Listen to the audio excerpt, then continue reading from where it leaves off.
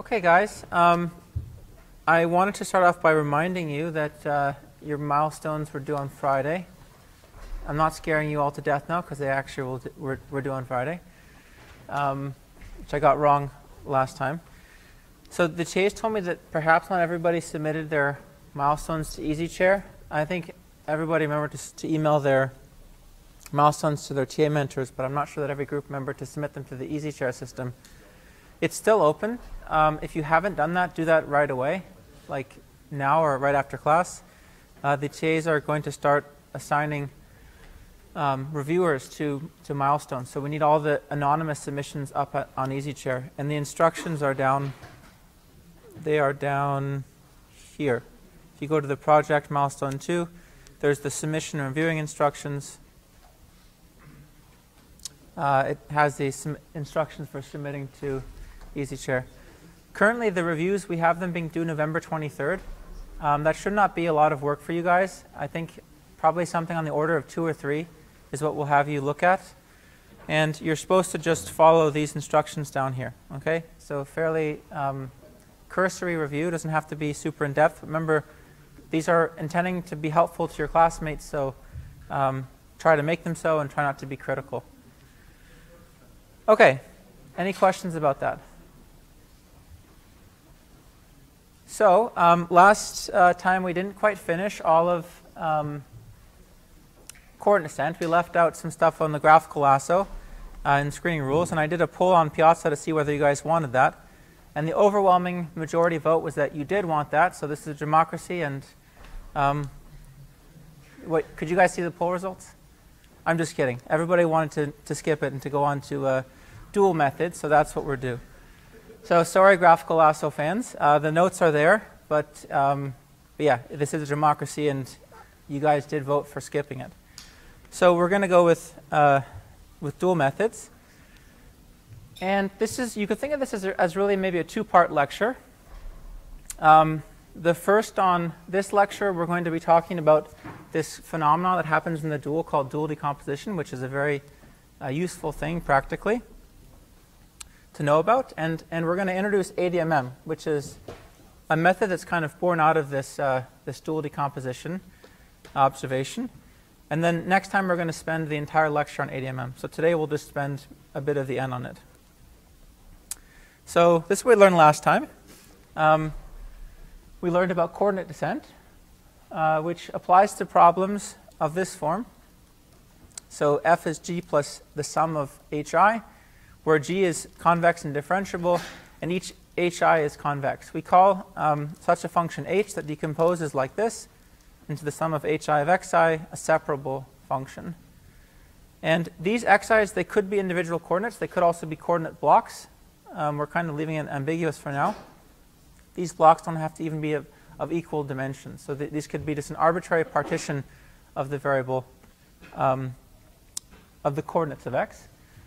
And the, the method called coordinate descent, um, or we might call this block coordinate descent if these were actually of dimension bigger than 1, just repeatedly and cyclically updates each xi, um, fixing for the other, let's say xj's, the most recent values.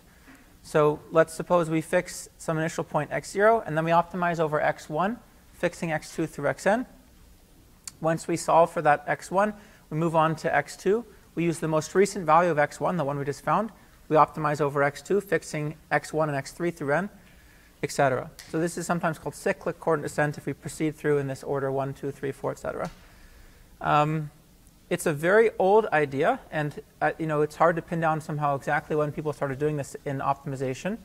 And uh, I mentioned last time a bit of its history and how it was, it's been underappreciated in optimization for a long time, but it's kind of um, there's kind of been a resurgence of interest recently because what people have found, particularly in, in problems that arise in uh, uh, machine learning statistics, is that um, we often have a loss that's smooth and potentially complicated, but the regularizers we pick, at least in many cases, happen to be separable. And this method is very simple and easy to implement. It's a, you know, it's a very portable, simple method.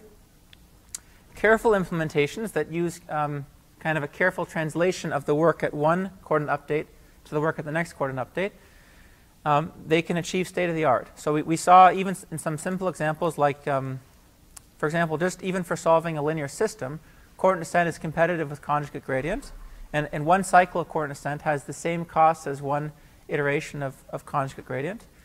And for something like the lasso, um, one cycle of coordinate descent is, has the same cost as proximal gradient, but appears uh, empirically to be converging faster, even versus, let's say, accelerated proximal gradient. Okay, and then there are many other implementation tricks we kind of mentioned last time, like active set optimization and this kind of stuff. And so with these together, they can achieve state of the art for the problems that descent applies to. Doesn't apply to every problem, though. Okay, so that was just a, a recap of last time.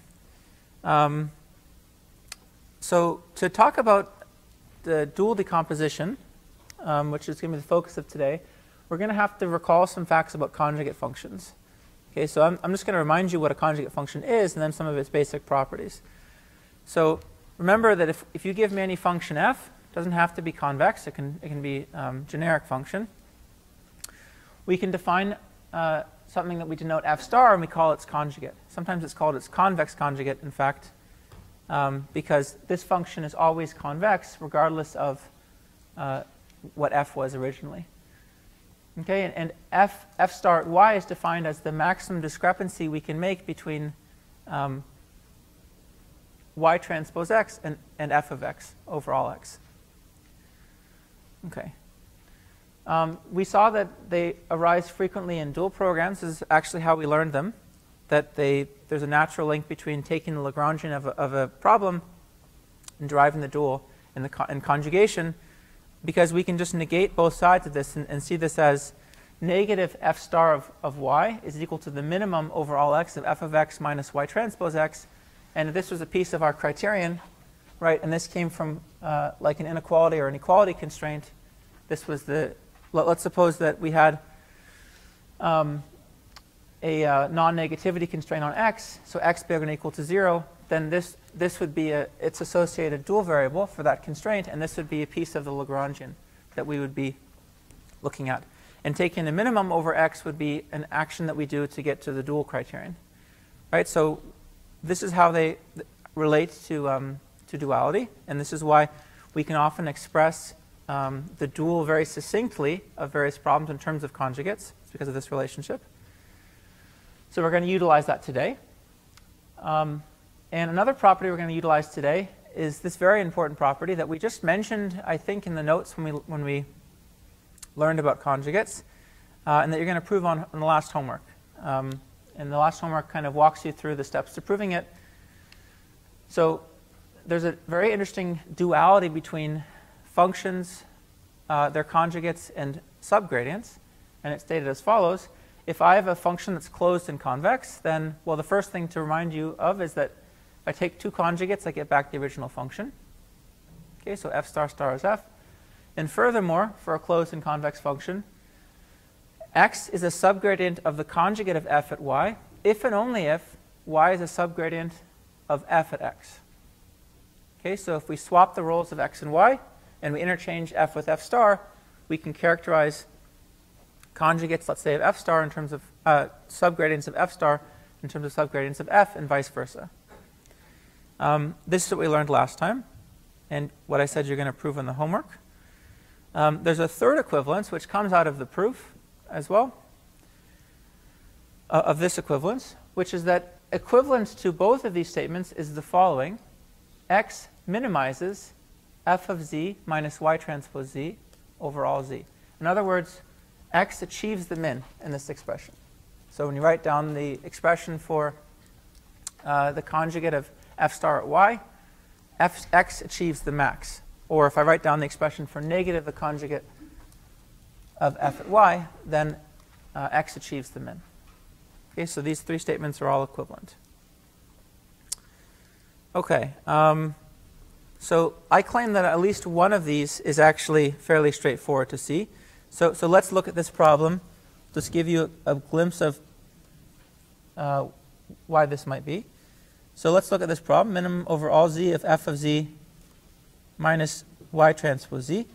So um, equivalence to having a minimum here is that I can take the subgradient of the criterion and set it equal to 0, right? That's just subgradient optimality. And if I have a minimum at x, then this has, and I have to take a subgradient, evaluate it at x, and that has to be equal to 0. So 0 has to be in the subgradient of this criterion at x, right, which I can write as the subgradient of f at x minus, if I take the um, subgradient of this with respect to z and then plug in um, the plug in for x, well, the, the subgradient here is just y, right, because it's just the gradient, and it's a constant, so it doesn't matter how I evaluate it. So that means that x being in the argmin here is equivalent to subgradient optimality, which tells us that 0 has to be in the subdifferential of f of x minus y. Or in other words, just rearranging, y has to be in the uh, subdifferential of f at x. Right? So that explains, that at least explains this equivalence. Right? Okay. Um, a very important special case of, of, let's say, this equivalence between subgradients of f star and subgradients of f is when f is strictly convex. Okay, when f is strictly convex, what do I know about um, this, this problem here, this minimization problem over z? What's the kind of the main thing we associate with uh, strictly convex fu functions and minimizing them? It's unique, right? So I know that the minimizing value is unique, which means actually there is only one x which minimizes this, right, if f is strictly convex. So I can say x equals argmin in that case. And that's equivalent to this statement, so that's, there's only one x that's in the subdifferential of f star at y. Right? What does that imply about f star? It implies that it's actually differentiable. Right? For, for a, uh, let's say for a convex function, we know that the, that the um, subdifferential is non-empty, and if it only has one element, then that is its gradient. Okay, so if f is strictly convex, then there's only, to repeat, this has a unique solution, which means that somehow there's a unique element of the subdifferential which means that f star is differentiable. Okay, so we get this interesting implication that if f is strictly convex, then f star is differentiable, and in fact its gradient is equal to the argmin, right? That's just calling its gradient x in this expression. So I can exactly characterize the gradient of f star at y by the following problem. I'm going to minimize over all z f of z minus y transpose z. Okay. Good. So um, here's a, an outline for what we'll do. We'll talk about dual ascent, dual gradient ascent. Um, we'll talk about this idea of dual decomposition. Then I'll mention something called um, the method of multipliers or uh, the augmented Lagrangian. And then we'll, we'll, we'll introduce ADMM. We'll, we'll kind of state what it is and very basic properties about it. And next time we'll go into more details about it. Okay, so um, this, this these equivalents here in, in, this kind of special case, they actually tell us something very interesting about um, doing gradient ascent on the dual, which is that even if we can't derive the dual in closed form, we can still do gradient ascent. That is the idea behind, you know, let's say almost all of this lecture. So what I mean by that is let's suppose that we have a problem that looks like this. Um, I have some criterion f of x. I have some equality constraints ax equals b. It's a fairly simple looking problem. And let's suppose for now, and you'll see the motivation um, shortly when we talk about this decomposition phenomenon, let's suppose we wanted to actually, instead of doing something like projected gradient descent on the primal, we wanted to do gradient ascent on the dual. Okay, and the dual problem um, is exactly this. So I'll leave this as an exercise. This is just utilizing the definition of the conjugate. Form the Lagrangian, right? We get something like, let's say, um, f of x plus u transpose the quantity ax minus b, minimize out over x. Okay, the resulting thing is a function of u. You're going to maximize that, that function of u. That's the dual. And that function of u ends up being exactly this. Right? This first part comes from just the definition of negative the conjugate, and this minus b transpose u came from that. It was this left over. We had um, u transpose ax minus b uh, added to the criterion for the Lagrangian, and, and then this just stuck around, minus b transpose u. Okay, so just check this if, this if this link is unclear to you. This is its dual. And let's suppose we're in a situation where we don't know what the conjugate f star of f is in closed form. right? Or maybe we don't care to derive it because it, it's a complicated thing to try to look at. So I claim we can still do gradient ascent on this problem, or uh, more generally, we can still run the subgradient method on this problem uh, because of this relationship that we just learned. Okay? And what does this tell us? Um, if we look at the criterion here, which I'm going to call g of u, that's the dual criterion, okay, I can use just first of all um, simple subgradient calculus. This is really just the chain rule for the composition of a function with a linear function in terms of subgradients. We say that subgradients of, of g are a times subgradients of f star, evaluated at minus a transpose u, okay, minus b. Right, because I have two negatives here, and so I pull out, I pull out an, a, a, transpose of this operator, and the negatives cancel, and I just get a times the sub, subdifferential of f star, evaluated at minus a transpose u minus b. Okay, so that, that calculation is hopefully straightforward. And now, what do we know about um, what do we know about something like this? Um, we know that, for example, x is in the just from that equivalence we learned, it's in the su subdifferential of f star evaluated at um, minus a transpose u, if and only if. Okay, let's look back at this third statement here x minimizes that function, right, minus, uh, in this case, instead of uh, y, we have u. Right? If and only if x is in the set of minimizers of this function f star, uh, excuse me, f of z, and I'm going to do minus z transpose um, minus a transpose u, right, which I can just write as the argmin over all z of f of z minus um, u trans plus u transpose az. Okay, which means that to compute a subgradient of my criterion, right? Let's, let's suppose that I, I want to compute um, subgradients of my criterion G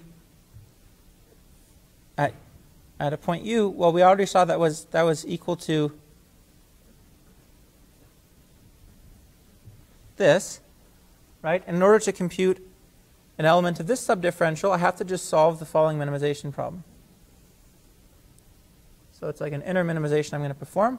I'm going to minimize out over all z, f of z plus u transpose az. I'm going to grab a minimizer.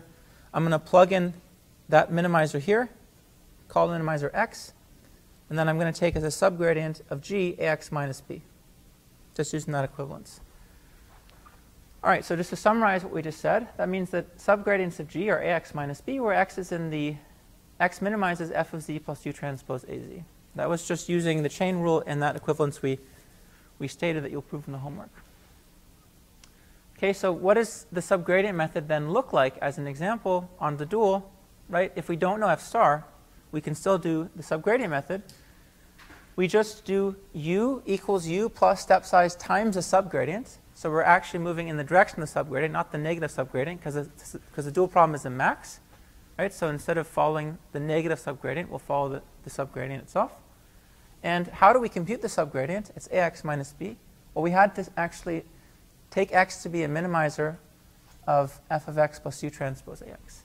Right? So this is something we have to do to compute um, the subgradient. So once we have such a point xk, I'm calling it here, the subgradient of my criterion at the point uh, uk minus 1 is just axk minus b.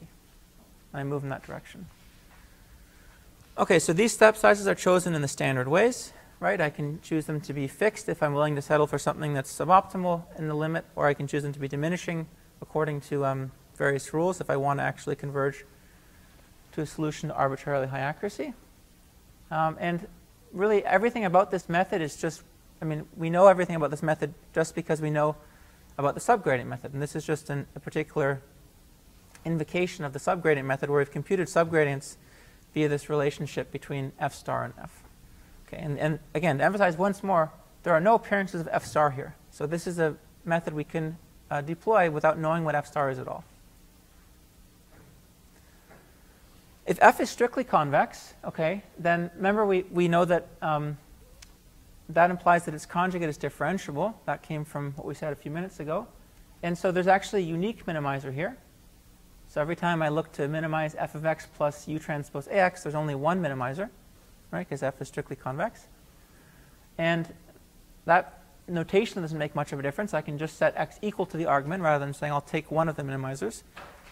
But that makes this dual gradient ascent, right? Now we're actually computing gradients. And it means that we can do things like backtracking as an example to compute the step sizes here. Okay, so or, or we can take the step, sizes to be large and fixed, 1 over um, less than or equal to 1 over the Lipschitz constant of our criterion, and we can still get away with um, converging to an optimal solution. All right, so that's sub, dual subgradient method. This is dual gradient ascent, and there's no appearances of f star whatsoever. Okay, and the last comment is that you can apply acceleration, you can apply proximal operators, all in the same way as you would in the primal. This is just you know, the standard methods that you know apply to the dual. The only catch is that we are computing gradients or subgradients in a clever way, right, that don't require us to know f star. Let me pause for questions before we move on.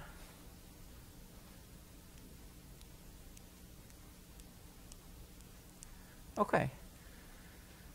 So um, there's an interesting link between smoothness of f and f star, and we're going to use this to motivate um, statements about how fast we converge, for example, uh, in terms of dual gradient ascent for this problem. Right? And here is a um,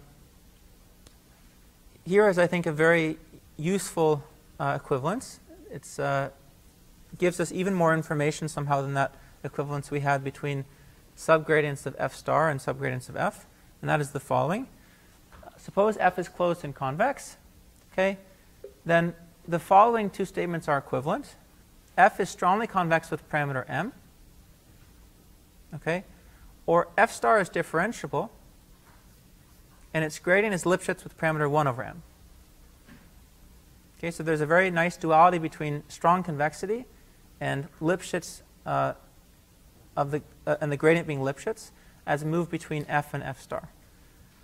Okay, we already kind of saw a bit of this direction, right? Because we said that if f was strictly convex, then that implies that the gradient is Lipschitz. We already saw it came directly from the previous um, equivalences we saw, but this is a much stronger statement. We actually can characterize, let's say, the curvature of f and, and its conjugate um, in terms of the others, the other's curvature, right? This is saying something like if f is sufficiently curved from below, then um, the gradient of f is sufficiently curved, uh, of f star is, is, sufficiently curved from above, and vice versa.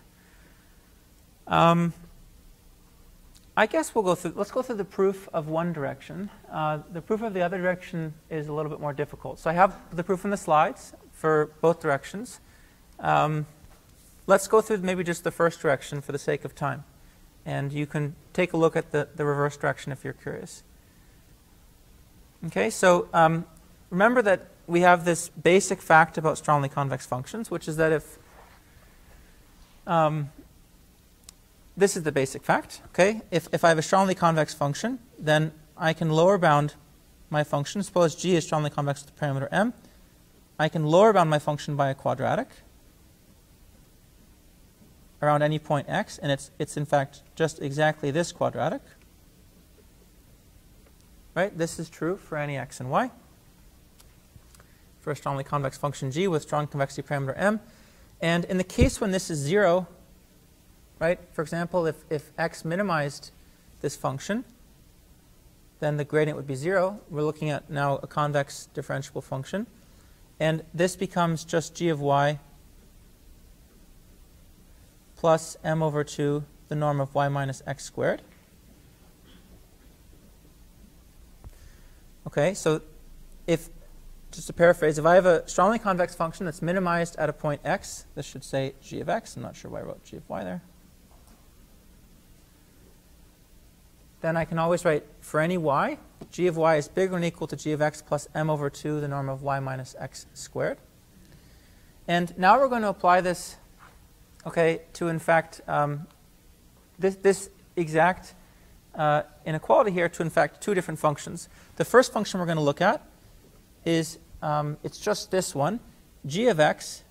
Let's call this um, maybe gu of x equals f of x minus u transpose x. Okay, what is the minimizer of this function? I claim we actually know it exactly. What is the minimizer of this function? Comes from this equivalence. Look at the bottom one. The minimizer is in fact, because f is strictly convex, right? The minimizer is just in fact, let's call it x sub u. It's just the gradient of f star at u. Right? That's just exactly the third equivalence here.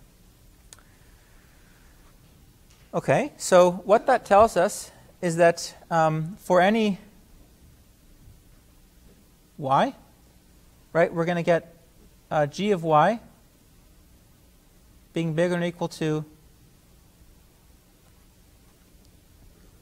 let's write it like this actually, let's just write it out.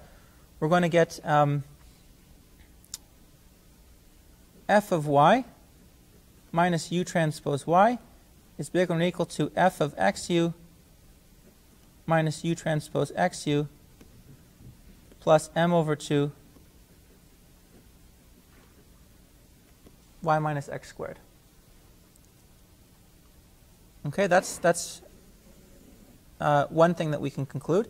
Let's look at a different function now, and we're going to derive two inequalities of this form, and we're actually going to add them together. Let's look at, uh, for another fixed point at the moment, v, the function defined by f of x minus v transpose x.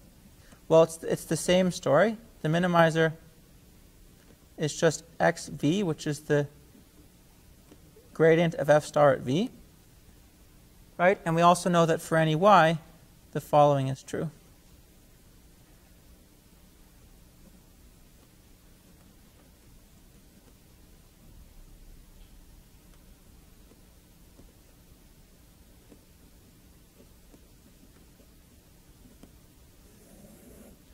Okay, so we have uh, for fixed points u and v, we have the following inequalities. And this, this came from strong convexity.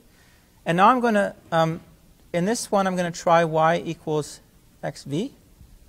And this one, I'm going to try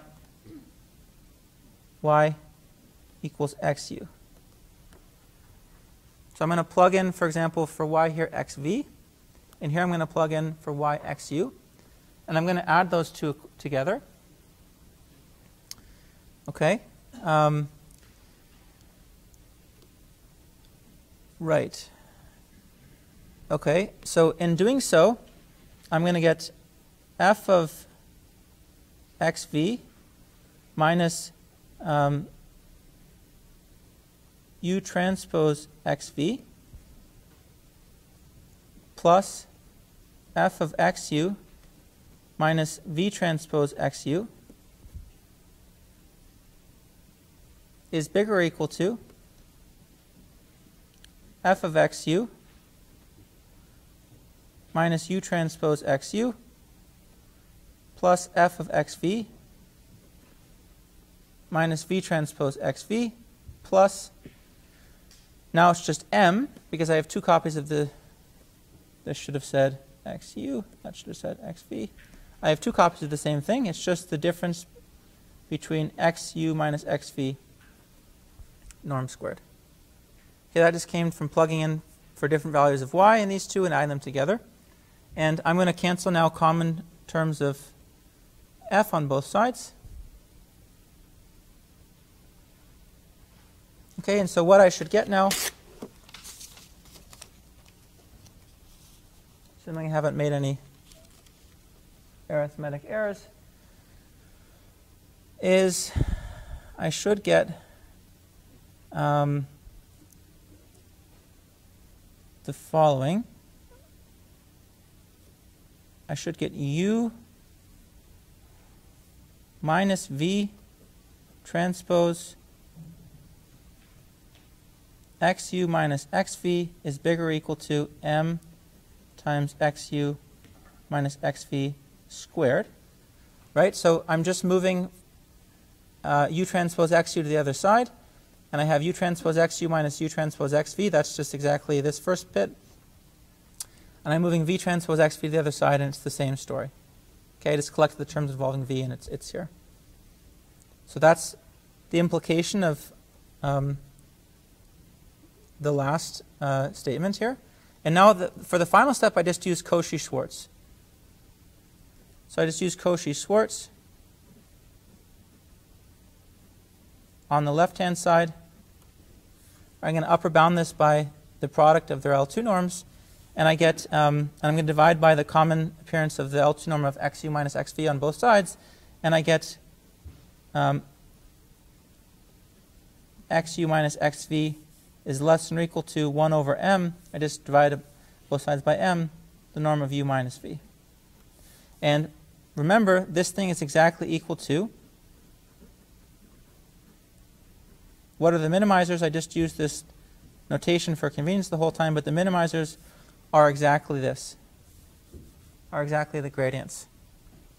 So this is a statement of uh, Lipschitzness of the gradients. Okay, and the Lipschitz constant is just 1 over m. Okay, so that was a proof of the one direction. Right, we just proved that if f was strictly strongly convex with parameter m, that implies that the gradient is Lipschitz with parameter 1 over m. And the reverse direction is slightly more involved, but I think it's, um, it's fairly similar in spirit at least. Okay, and that's down the next slide. So why do we go through this trouble? We went through this trouble because um, I wanted to portray to you that somehow what we know about this method, dual gradient ascent, is very analogous to what we know about gradient descent on the primal. So let's look, look at the implications of this. Um, remember, we wanted to minimize f subject to ax equals b. That was our original problem. Okay? And that's this problem right here. And we have this method for doing so. Okay, yeah. Is there a question somewhere? Yes. Uh, is it possible to explain more general not the in not the pure convex case, but to something about like the eigendirections that Hessian flying up between f and contradiction? Good question. Um, I might uh, push like a detailed discussion of that till maybe after class, but the maybe let's say in simple cases they are the same directions. So like the simplest case you can maybe believe is when f is quadratic. So if f is quadratic, then like if f is, is this function,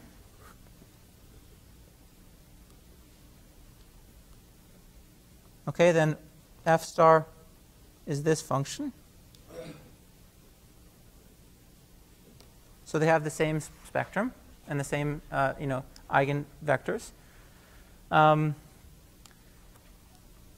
so beyond that, you're asking if, if I can kind of learn uh, details of curvature from using one to the other? I, I would guess the answer is yes, but I think somehow I'd have to, we'd have to be looking at things that are kind of close to quadratic to begin with. But it's a good question. This is just a statement, of course, about the smallest and largest eigenvalues. Okay, so, so let, me, um, let me motivate why we went through this trouble really quick, and then I'll tell you the implications for convergence. We're, we're minimizing this uh, function subject to ax equals b, and we have this algorithm. Okay, and now it's natural to ask how fast is this algorithm going to converge? And well, we, we, what we know about gradient, uh, let's say, descent or gradient ascent analogously, is that it converges at a certain rate when we have that the criterion is has a Lipschitz gradient with a, with a certain um, Lipschitz parameter. Okay, so we're, we're going to try to ask um, when is this thing have a Lipschitz gradient? Well, we know when it has a Lipschitz gradient. It has a Lipschitz gradient when, by this uh, equivalence I just told you, when this thing is strongly convex. Okay, so what we see is that if f is strongly convex with parameter m, then the, the dual criterion is going to be, ha has a Lipschitz gradient with parameter 1 over m. Okay, from, from what we just learned right here. from this equivalence right here. And that means I can take uh, step sizes 1 over the Lipschitz constant, which is 1 over 1 over m, which is m. And I can expect gradient ascent to converge at the standard rate for that case, which is 1 over epsilon. Okay? So now you're looking at this and you're thinking, well, this seems really bad because um, I'm in a case where I have strong convexity and I'm getting a sublinear rate for minimizing my function. All right, I have strong convexity of f, I have an equality constraint, I'm running dual gradient ascent, and I actually only am getting a sublinear rate, 1 over epsilon. I'm not getting something like log of 1 over epsilon, which what what, that's what we would expect somehow in this case. But there's a subtlety here, and everything is fine. The world is just. It's just that um, when we analyzed conversions for strongly convex functions, we always assumed that in addition to strong convexity, we had the function being smooth and having an Lipschitz gradient. It wasn't just strong convexity analysis. We actually used both. We had to sandwich our function by a quadratic in order to get that linear rate. So we had to assume that the function was strongly convex and it had Lipschitz gradient. Okay? It turns out that for just strongly convex functions, strongly convex alone does not give you um, a linear rate. You need kind of both sets of assumptions, as I just said. So in that case, if we assume that f is strongly convex with parameter m and it has Lipschitz gradient with parameter L, then we should expect a sublinear, uh, a linear rate in this case, because that's what we would get from our first order methods theory. And what, the, what this last uh, equivalence tells us is that actually being strongly convex and having Lipschitz gradient on f, that is equivalent to the same thing happening on f star. Right? It's just using this implication for each of those conditions. So if f is strongly convex with parameter m, grad f is Lipschitz with parameter L, then f star is strongly convex with parameter 1 over L, and grad f star is Lipschitz with parameter 1 over m. Okay, from that equivalence. And in that case, we know that we can apply dual gradient ascent with particular step sizes. They're just 2 over um, strong convexity constant plus Lipschitz constant, and we get the linear rate we expect. Okay, um, so in other words, nothing is lost moving to the dual. The convergence is exactly the same. We have to just be clear about what we're assuming. All right, any questions about that?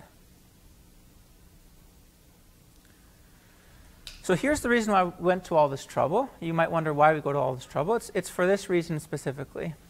It's that if we have a problem that partitions nicely into blocks of variables, so f is separable, okay, but we have an equality constraint, then it's not obvious what to do in the primal. Okay, if we didn't have this equality constraint, if I told you to minimize a function that was the sum of fi of xi, then you would use the fact that it was separable and you would actually solve for each xi individually. Right? It would be immediately decomposable. If you had B parallel processors, capital B parallel processors, you just would solve all these problems in parallel. Right? And then you'd collect the answers for each block.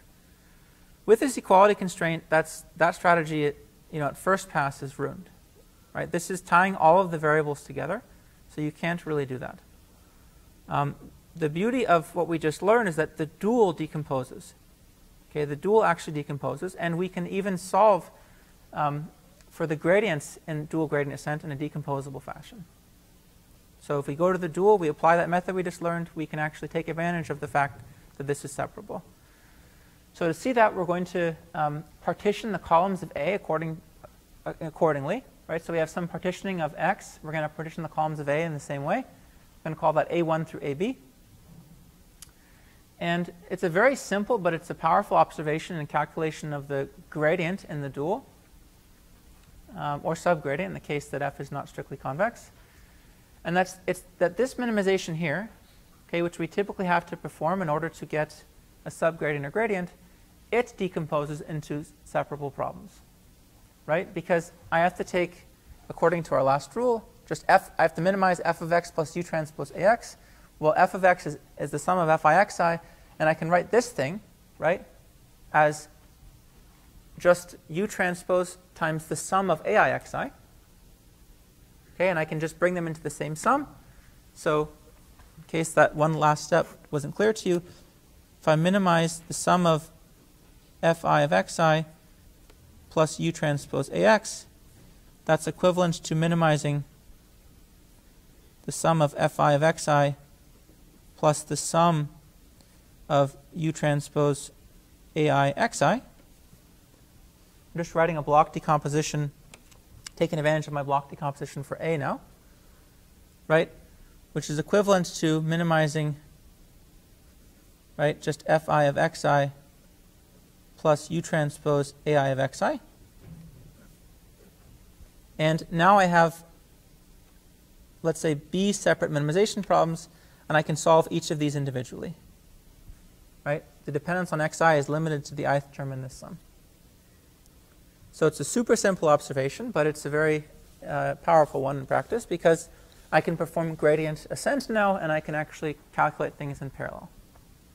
Right? So what I do is I actually just calculate for each block, I solve a, a smaller problem, which is minimize over all xi, f, fi of xi plus u transpose ai xi. I collect all of those, and, I, and at the end I multiply um, that x by a. I do ax minus b, and that's my um, gradient in the dual. Okay, so dual decomposition is just application of dual gradient descent to this problem. It looks like this. Solve all for all these um, components of the, of, that are going to make up the gradient. Then I form the gradient, which is just ax minus b, or in this way I'm writing, I'm keeping the block decomposition of a transparent. And that's my gradient. I just perform a gradient step down the dual. And sometimes people call these the broadcast and gather steps. So if you think about maybe an infrastructure for implementing this, I have a central node. Okay, and that central node, let's say, keeps a copy of the dual variable that I'm currently working with u. And the first step is to broadcast u to each of these um, individual units. So I have b units. Let's say I have b processors. Each processor gets a copy of the most recent u, and each unit solves a single one of those problems. Minimize fi of xi plus u transpose uh, ai with that most recent u, and it sends back the x that it found. Okay, and so they all get sent back to the central node, and the central node aggregates them and forms this gradient ax minus b, and it makes a gradient step, gets a new u, and then broadcasts them back, gathers, etc. Okay? Okay, um, let me tell you about what happens with inequality constraints rather than equality constraints. And then I think probably we can uh, take a break after that. So with inequality constraints, let's suppose now I, instead of having ax equals b, I have ax less than or equal to b. Okay, the, um, the dual problem you can check is exactly this one. We wrote down here. With an additional restriction on u, the only difference is that I'm constraining u to be non-negative. That's the new dual problem. So u has to be bigger than or equal to 0 in every component. So what would we do now? We would do projected gradient ascent in the dual, right? We take a gradient step, and then we project onto the positive orthant in the dual, so the set of all u's for which u is bigger than or equal to 0 in every component. And what's the projection onto the positive orthant? It's super simple. It's just the positive um, part operator. Right? I, if I have anything that's negative in any component, I set it equal to 0.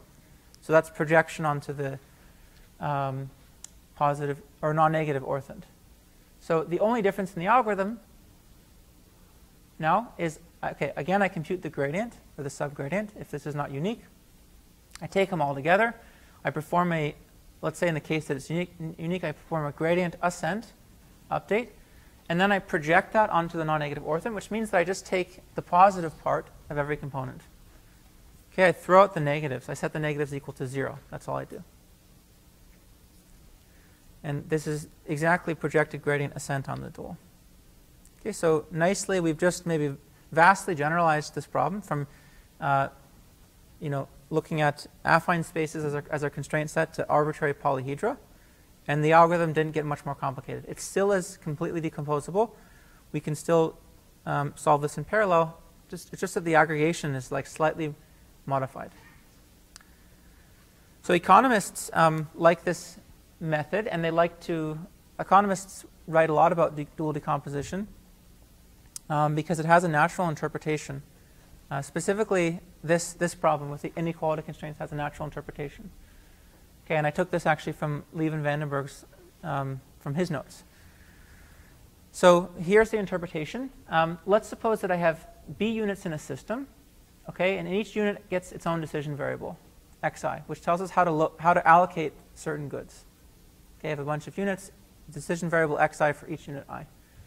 And these constraints, okay, these ones here, um, they're limits on shared resources. So every row of A corresponds to a resource, and I can't use up too much of that resource, so that's what that inequality constraint is telling me.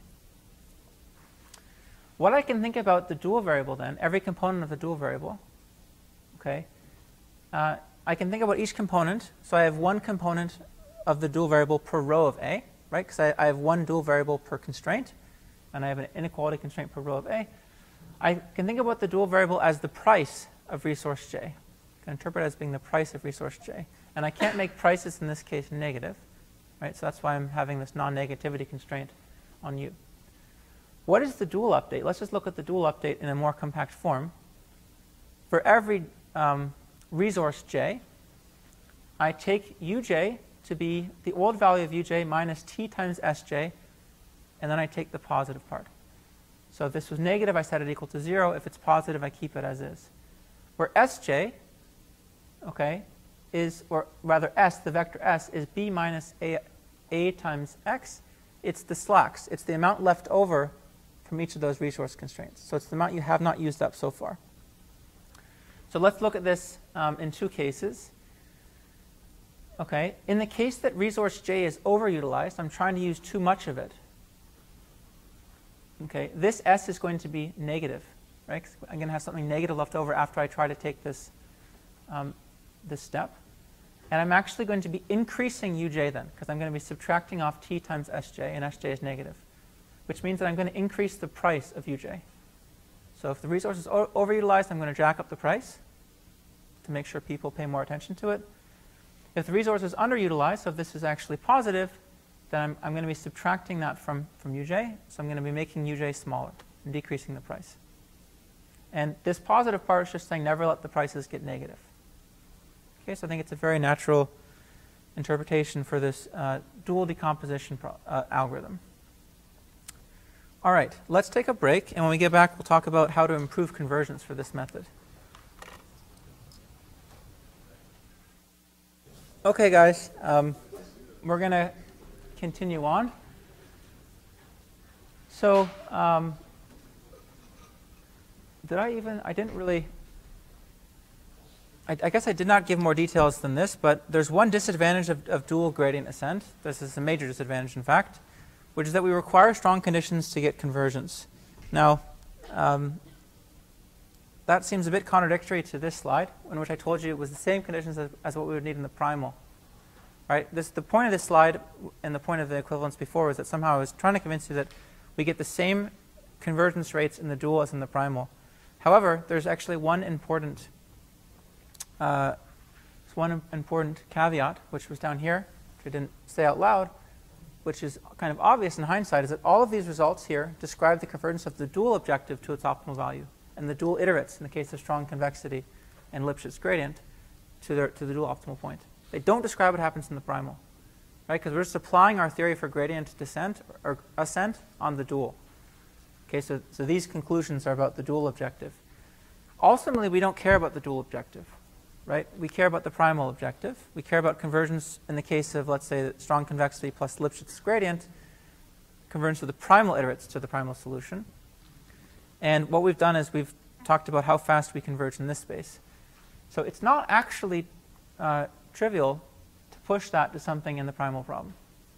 And in fact, even under the conditions I listed, the iterates you get from dual decomposition, they can be infeasible for the primal in the limit. Okay, so just ensuring that somehow we get something that actually meets ax equals b uh, requires more conditions. So the disadvantage of dual decomposition methods is that if we really cared about the primal, they actually don't have great convergence guarantees for the, on the primal problem, right? Translating these iterates to what happens to x here, right? We're talking about what happens to u. That's the standard results for gradient ascent. Now, if we care about the primal, we're asking about x itself. So that's the major disadvantage. And there's some literature which places kind of more conditions on the problem in order to try to guarantee primal convergence.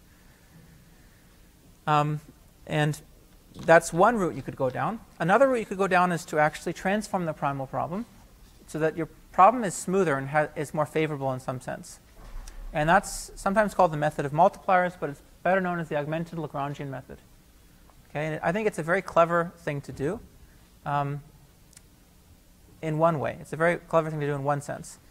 So what we do is we just add to the primal a quadratic term, okay, that looks like the norm of ax minus b squared, and this is called the augmented Lagrangian parameter. So rho is, now it's arbitrary. Okay, in doing so, notice that we haven't changed the problem at all because the feasible set is ax equals b. So if x is feasible, that contributes nothing to the criterion at all. Right? It's just adding a it's adding zero to the criterion. But if we went through and we actually um, looked at the calculation for this, the gradients in the dual, we'd see that actually we've changed things in a non-trivial way. Even though this is equivalent to our original problem, it leads to a different algorithm in the dual. And that's because where we had f before, now we have f plus a quadratic, and that gets propagated into this minimization. So where we, where we look for gradients, we actually minimize now um, f of x plus u transpose ax plus this other piece of the criterion, rho over 2 x, the norm of ax minus b squared. Okay, so this, this will give us a, a, a genuinely different value of x when we go to compute this at every iteration, which is going to actually alter our um, alter our gradient for our gradient ascent update. Okay, and the augmented Lagrangian comes from the fact that this would have been the Lagrangian, right, without this, and now this is something that we're adding to Lagrangian, so it's augmented. So that's actually, in some sense, a good thing because um, it makes the problem uh, smoother, and hence it actually aids convergence. And what some of the literature, old classic literature, shows is that this, this method converges in the primal, so we get a convergence of x here under weaker conditions than what we required for dual decomposition, where this rho is zero. But it's also hurt us in one way. What's, what's the way in which this has hurt us? It's not decomposable, right. If f was a separable function, then we've ruined that. So look, if f is separable, then somehow this term still groups all of the x's together, and we're in trouble because we can't solve for the gradient um, in parallel. Okay, so in one way it's helped, another way, in a major way, it's actually hurt. We've ruined decomposability. So before we talk about where to go next, um, which you can tell is ADMM, based on the kind of the outline, I want to motivate why we use rho here. Okay, because we're going to do the same thing in ADMM. Usually this is a step size t, or tk. I would usually try to, you know, let's say use backtracking if this was unique to find a step size. But I've actually fixed it at rho here and that rho was what appeared here. So there's a specific reason for that, and let me motivate why that is the why we make that choice. Um, well, if I if I look at uh, essentially the stationarity condition for this problem, for this subproblem, or the subgradient optimality for this problem, right? It is this: zero as a subgradient of f of x plus a transpose q plus um, rho A transpose AX minus B. Right? That's just taking a subgradient here. These things are all differentiable. I'm just taking their gradients with respect to x. So that is what subgradient optimality tells me about xk. xk has to satisfy this. Okay, and then look, if, if I were to take a gradient ascent update with step size rho, then this term right here, this would all this be uk. This would be my next u. Right? So I can just call this A transpose UK under that definition for the step size, setting tk equal to rho. So I, I, I see that um, 0 is in the subgradient of f of xk plus A transpose UK. What does that look like now?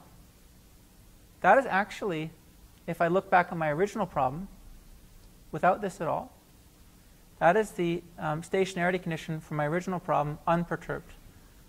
Right? That would be taking the Lagrangian, minimizing it over x, setting it equal to 0. It would be exactly this condition. So we can see that somehow this choice of step size plus the um, fact that we had a quadratic we added to our criterion, it's made it so that if I look at any primal dual pair in any one iteration, they're satisfying primal, uh, they're satisfying stationarity for the original primal problem, the stationarity condition. Okay, so as long as I can satisfy feasibility, then the limit, I know I'm going to converge to primal and dual solutions jointly together in the KKT conditions. So that's a kind of a hint as to why this converges better, and also why we why we choose the step size here to be rho. Okay, and the convergence analysis you'll find is all about showing that somehow we get ax equals b in the limit. So we actually get the KKT conditions and we converge to a primal dual pair. So the advantage is much better convergence properties, as alluded to kind of by this.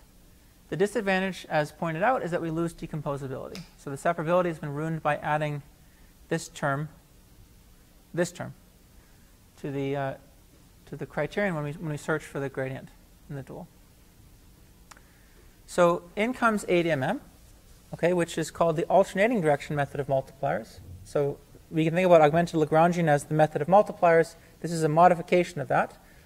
And alternating direction kind of tells the, the story, um, or, or ADMM for short. It's trying for the best of both worlds. So it's trying to retain the convergence of the method of multipliers, but also retain the decomposability of dual decomposition.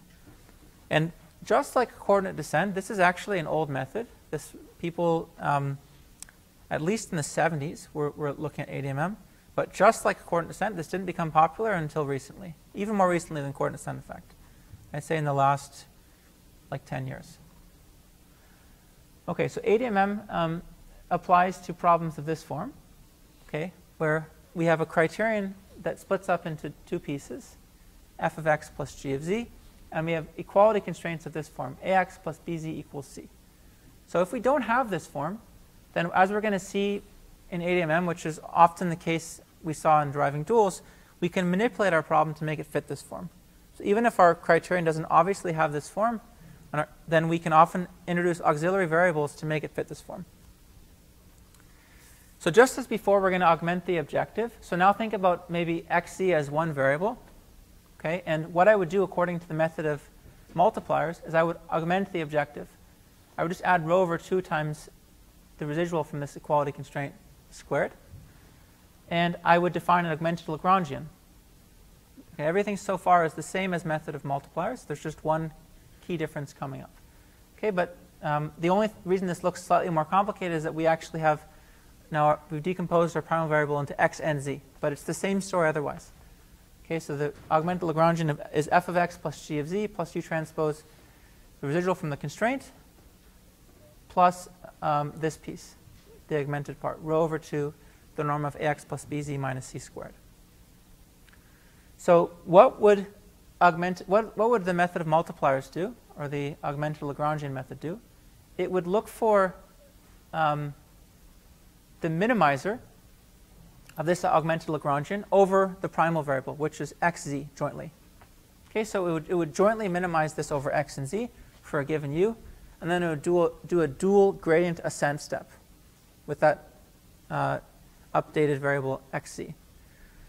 What ADMM does is it actually splits up that minimization into two. That's the only difference. And hence the name alternating direction method of multipliers, because we first look at the x direction, then the z direction. So we first minimize the Lagrangian over x with z and u fixed. Then we plug in for the most recent value of x, just like we would in coordinate descent. Minimize out over z with x and u fixed. Then we take a dual gradient ascent step. Okay, so just stare at this for a second. The only difference here between ADMM and method of multipliers is that we split up over x and z. We, we've actually forced ourselves to minimize this separately over x and z.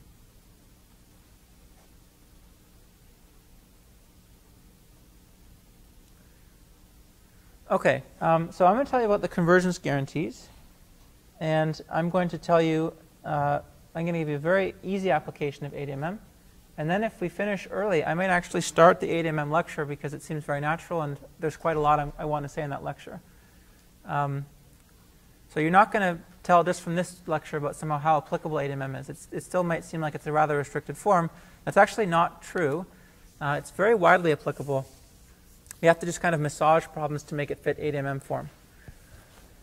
So what do we know about ADMM first? Um, I'll tell you uh, what the kind of generic convergence guarantees are. So under modest assumptions on f and g, so cl closed and convex is good enough. Do you have a question? Yes. Step back for a second. You said this is a widely applicable method. Can you talk a little bit about how it fits into the previous methods we've seen and when we care about using these class of methods? Um, I can. L- let me let me maybe push that. This seems like I could do that at the end of the lecture as well.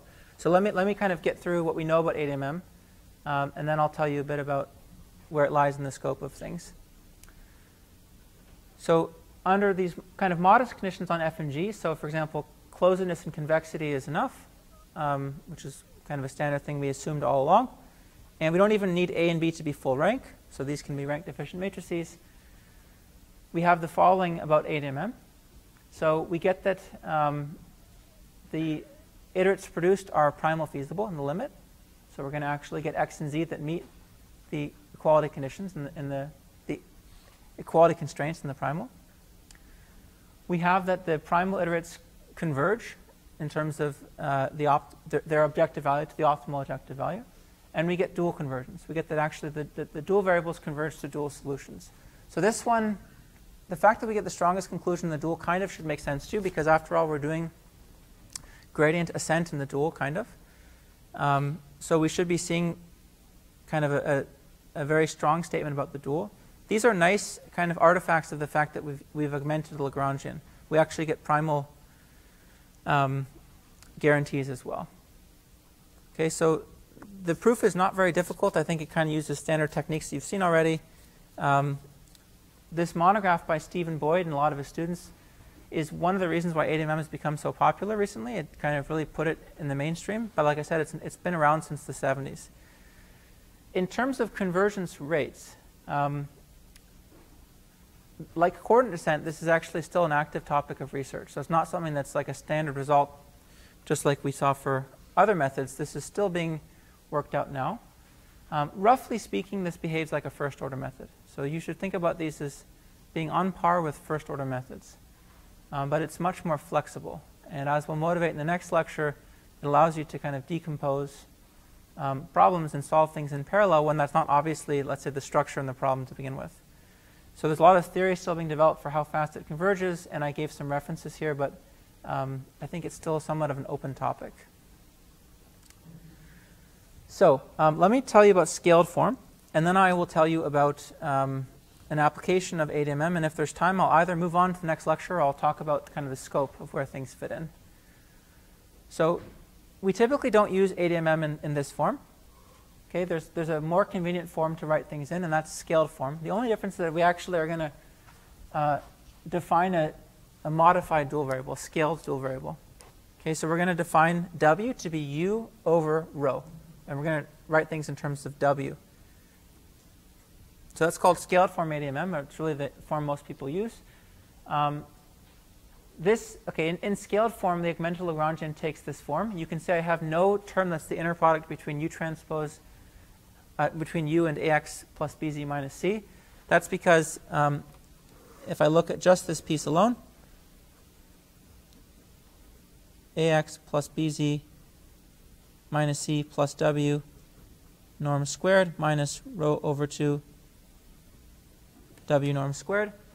If, um, if I have w equals u over rho, right, and if I expand this out, then I get um, rho times w transpose ax plus bz minus c plus rho over 2 ax plus bz minus c norm squared. And the term for the norm of w squared canceled with this one. So that was the cross term, that was the square term for this piece, and then the square term for w canceled here. And this, remember this right here, is exactly u. So this is what we had before. So it's just a rewriting of what we had before.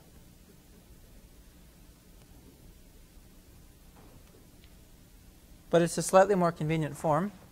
Um, I've gotten rid of the cross product in my definition of the augmented Lagrangian. And now the updates just become minimize this over x, minimize this over z, and make it dual gradient ascent update, but where I had u equals u plus rho times the residual, now I have w equals w plus the residual. Right? Because if I divided both sides by rho, then u over rho became w, and this thing didn't have a rho in front anymore. And it's just often we have to think about fewer terms in this formulation. That's why it's more convenient. Okay, so the only terms that matter for the x minimization is f of x plus this piece. The only term that matters for the z minimization is g of z plus this piece. And then the gradient ascent update is this. Okay, and um, one thing that will be helpful when we talk about uh, consensus ADMM next time um, is that in this formulation, the kth iterate in the dual here is just a running sum of residuals. Okay, it's whatever it was when we initialized it plus add up all the residuals I've seen so far. Right? That's just kind of repeating or unraveling this equality here. Okay, um, let me give you an example of how this can be applied, and it's a um, it's a very simple example, um, and it's it's to find a point in, the intersection of convex sets. Okay, we want to find a point that lies in the intersection of convex sets C and D. Um, and we actually already saw how to do this. So we, we saw that we could actually rephrase this as uh, the criterion being the maximum distance to each of the sets. And we could apply the subgradient method. And with a particular choice of step size, this was like way back when we talked about the subgradient method, we got alternating projections. So project onto C, project onto D, project onto C, project onto D, etc. It's a famous algorithm from Duda von Neumann. So that was one method we know for finding a point in the intersection. It's just alternating projections. And now we can ask, well, what do we get with ADMM? Okay, what would ADMM give us? And we're going to write the, the problem in a slightly different form now because we want it to be decomposable. We want the, the, the, criterion to decompose into something like f of x plus g of z, and we want to have an equality constraint.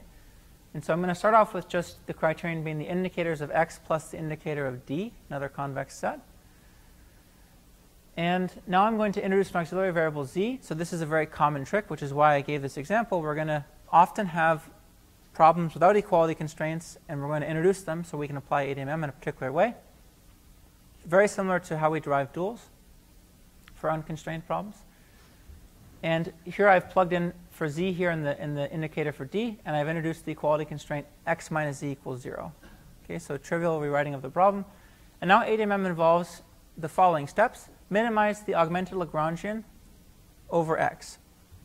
So what is the augmented Lagrangian?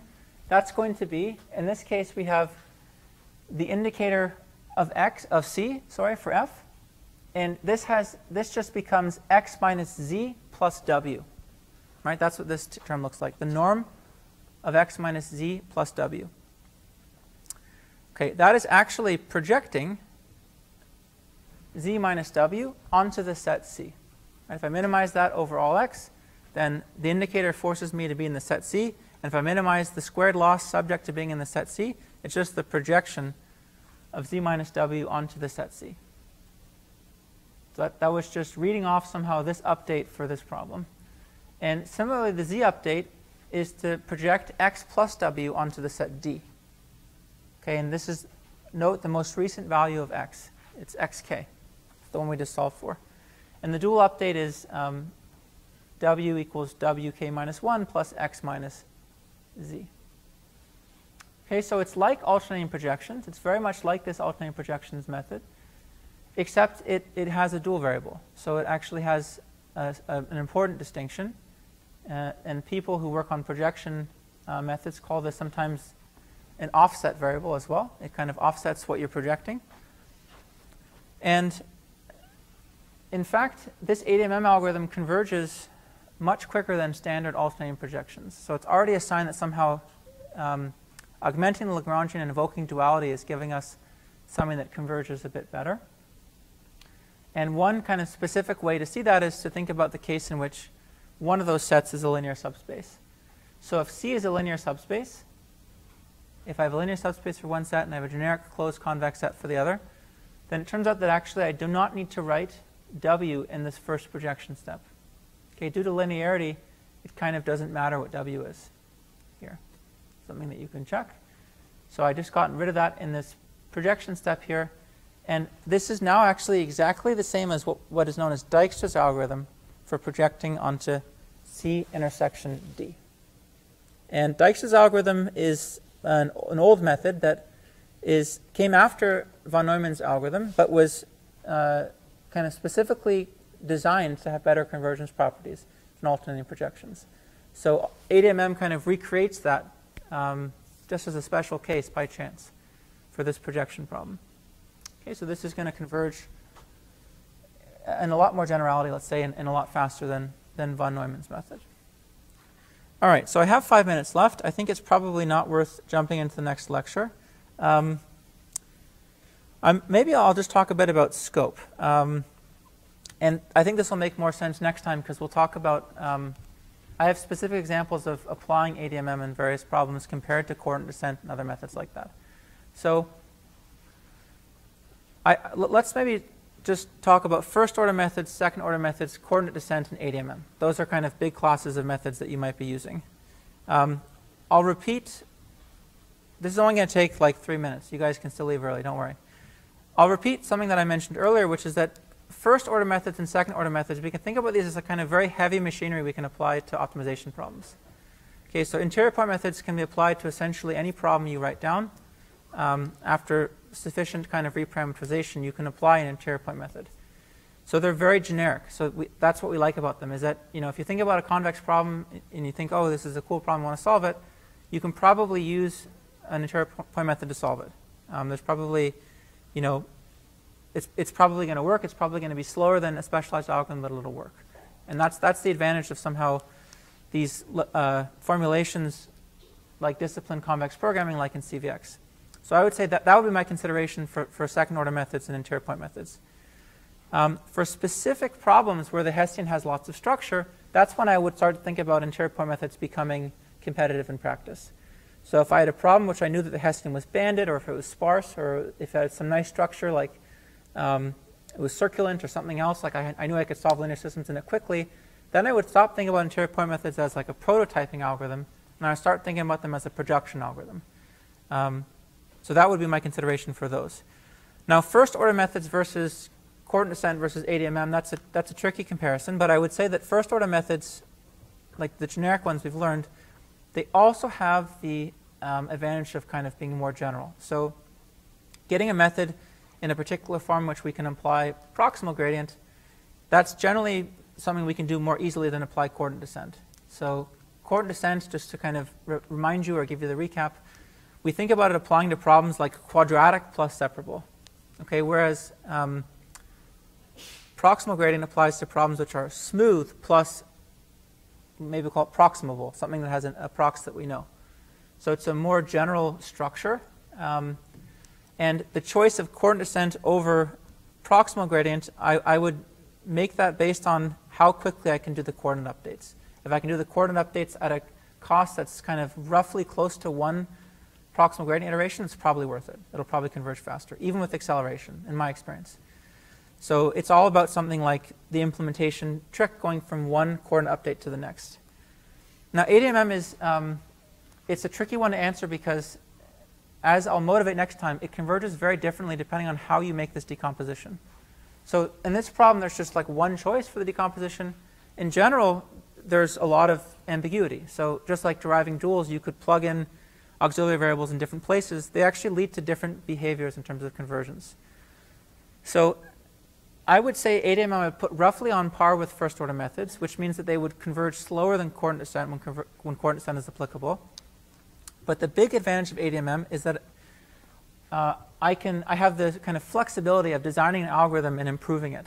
So I can try one kind of formulation for ADMM form, and if it, if it doesn't work so fast, I can try a different formulation, and I might get a quite a different convergence behavior, which I'll demonstrate next time. And the biggest kind of uh, reason to know about ADMM is that for many problems, we can put things in a parallelizable form. So I haven't gotten yet, like you haven't seen anything yet that mimics this. Right, this is the point of dual decomposition. You haven't seen this yet for ADMM. You haven't seen how it can split up across kind of B processors. That is possible with something called consensus ADMM. And so that would be um, maybe it's one of its most important features that, that you can often set up things to be parallelizable. So if you're in a parallel computing structure, then you know it's it's a very good thing to use ADMM. Okay, so that was hopefully comprehensible to some or some fraction that was comprehensible, but I'm happy to discuss this offline too. And next time we will get to ADMM in depth. So I will see you guys then.